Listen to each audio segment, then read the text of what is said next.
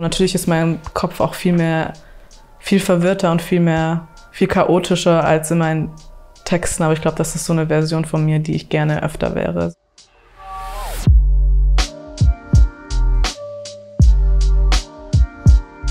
Hi, hier ist Elgen Nur, ihr schaut Diffus Magazin und ich rede heute über mein neues Album It's All Happening. Wie kam es dazu, dass du deine Platte in LA gemacht hast?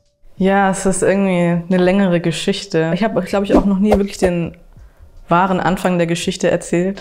Weil es immer so, es war klar, dass ich dieses South-Beispiel, aber ich wollte eigentlich schon länger immer nach LA und ich war 2019 auf einem Konzert und ich weiß noch, wie alle meine Freunde mir abgesagt haben und ich bin alleine hingegangen und dann habe ich da eine Person kennengelernt, die jetzt eines meiner engsten Freunde geworden ist. Sarah heißt die Freundin von mir und wir haben uns an dem Abend kennengelernt und dann eben noch ähm, zwei andere Leute aus der Band, Adrian und Marianne, hatten in ihrer Band gespielt und dann haben wir so einen, einen ewig langen Abend gehabt in Berlin, waren so, du musst nach LA kommen, du musst nach LA kommen. Weißt du noch, habe ich die Flüge gebucht und war dort und alle drei waren so, du bist wirklich gekommen, du hast nicht nur gelabert. Das hat mich auch die ganze Zeit eigentlich über in LA begleitet. Also natürlich war die Stadt total faszinierend und ich wollte schon voll lange hin und ich habe mich echt so darin so verliebt, aber es, es, sind schon immer auch die Leute und die Freunde, die um mich herum sind, die solche Erfahrungen und solche Städte ausmachen. Wieso kam dafür kein anderer Ort in Frage? Ich war einfach nur so, ich wollte dieses Momentum da, da irgendwie auffassen, das Gefühl, was ich dort hatte und wo ich die Songs auch geschrieben habe.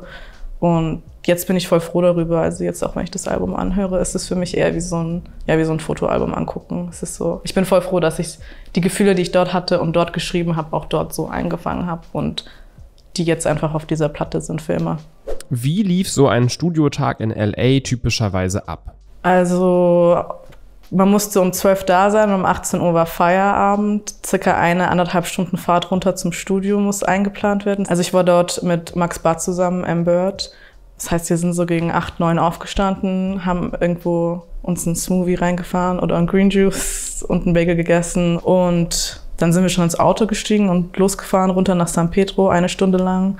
Also jeder Tag war unterschiedlich. Man saß im Studio und hat versucht, die Songs bestmöglich zusammen zu arrangieren und zu schauen, wo wir hinwollen. Ich glaube, am ersten Tag hatten wir so ein Gespräch, wo wir uns darauf geeinigt haben, zu dritt, also Max, John und ich, waren so, wir lassen alle Egos aus dem Raum. Die bestmögliche Idee ist die Idee, die es wird. Und so haben wir es auch gemacht. Und da bin ich auch voll froh drüber. Wie würdest du deinen Sound jetzt beschreiben?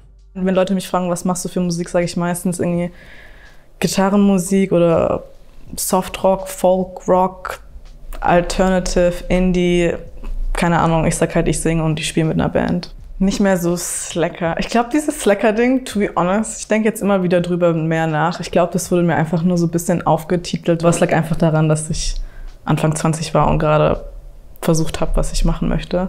Machst du dir Gedanken, wie dein neuer Stil ankommt? Ja, klar. Also einfach, weil die Songs auch ruhiger sind und nicht mehr so. Die sind schon auch energetisch, auf eine, aber auf eine andere Art und Weise. Es ist jetzt nicht mehr so diese Rockshow, sondern ich bin eher so, okay, ich mache einfach Musik, die ich wirklich selber auch gerne hören würde. Und das war auch so die Challenge, die ich mir mit dem Album gesetzt habe, ist, ich will ein Album machen, was ich selber gerne anhören würde. Und ich glaube, es ist mir gelungen. Ich hoffe es. Was steckt hinter dem Song Sweet Thing? Ich glaube, ein Teil von mir wollte auch irgendwie die Bedeutung von dem Song ändern. Und ich mache das auch oft mit Songs. Und ich glaube, viele Künstler machen das mit Songs. Und ich glaube genau, dass ich auf jeden Fall Teile davon schon über, über so eine Person geschrieben hatte. Aber dann später war ich so, actually, ich will eigentlich gar nicht, dass es um diese Person geht, sondern es geht, glaube ich, mehr um das Gefühl und vielleicht ja auch um auch irgendwie um dieses Auto und die Orte, die ich dadurch entdeckt habe. Hat das Auto eigentlich auch einen Namen? Ja, ja. Es hieß Benzo einfach. Bei Benz, Mercedes-Benz, Benzo, Benzo, keine Ahnung, ich habe es einfach Benzo genannt. Inwiefern hat Elliott Smith das Album inspiriert? Ich liebe Figure Eight und XO, aber auch eigentlich alle anderen Alben. Und dann war ich so, okay, ich will schon irgendwie so eine Hommage an ihn auch. Sagt man das so? Habe ich das komplett falsch ausgesprochen? Nein. Okay. Aber ich muss sagen, übers ganze Album verteilt sind so viele kleine Referenzen zu MusikerInnen und Songs, ähm, die mir wichtig sind oder wichtig waren zu dem Zeitpunkt, aber wahrscheinlich sind. Manchmal sind es nur Wörter oder auch Songtitel. Äh, man muss aber wirklich, glaube ich, tief drin sein. Aber ich glaube, für diepe Jeff Buckley-Fans und äh, wird auf jeden Fall was dabei sein. Wie würdest du dein Songwriting beschreiben?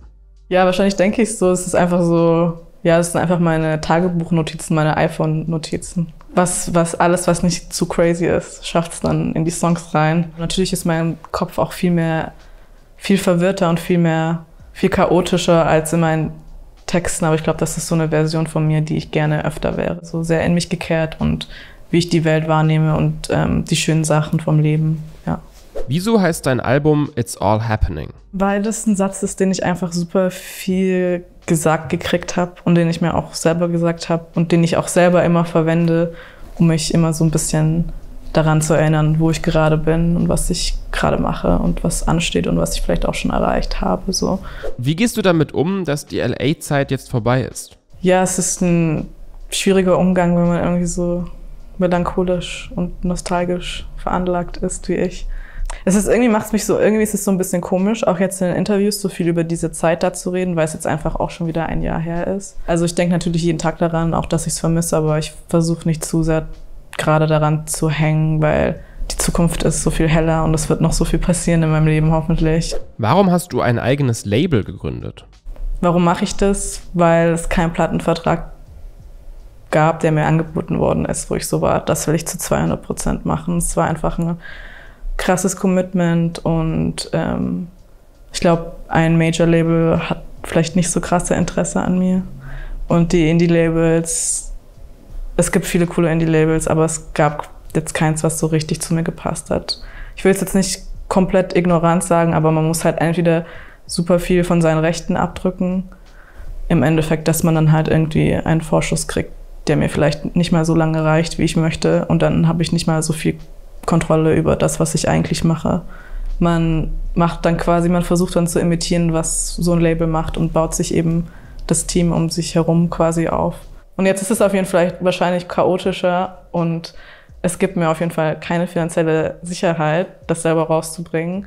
Aber ich weiß zumindest, dass ich die komplette Kontrolle über alles habe. Worauf freust du dich jetzt nach dem Album-Release? Dass es endlich draußen ist.